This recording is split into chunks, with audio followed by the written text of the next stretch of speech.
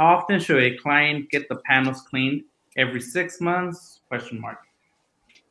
It really depends on geographical area. If they're closer to the freeway, uh, Yeah. every three months. Uh, if they're more a little bit more inland, every six months.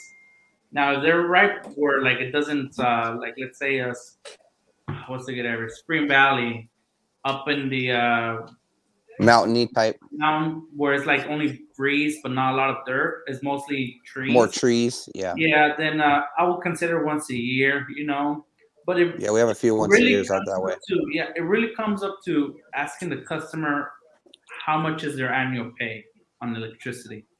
You know. Yeah. And- Check the data for sure. Yeah, yeah. Is it worth it? You know, see what's worth it for them. Exactly, and then follow up with your customers every three months after you clean it to see if there's a change in their system on what's the what's the change on on uh, on on the efficiency. You know, Mhm. and then you can Yeah, that- offer them that's basically it.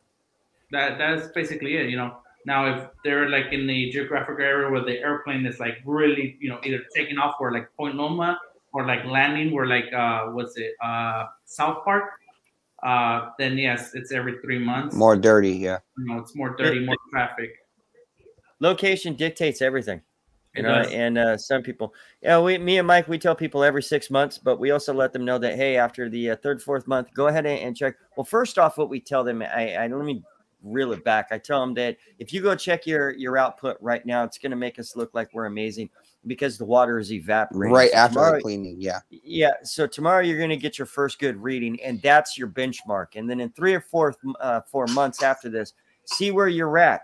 And if you're starting to dip, then you know every six months you need me to come out. Now let's just say you're all good. Uh, and you're in an area that just by chance you don't have a lot of wind blowing, a lot of dirt blowing, you're all good. You're once a year, but I wouldn't go beyond that. And that's you know No. what, what I like to keep it to. I think that's that's safe for the customer. It's also safe for me as a business owner.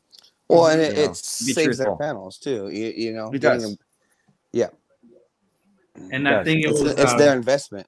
who was it v cash 97 that asked that question Yes. And and these are were were all from um YouTube, by the way. Cash.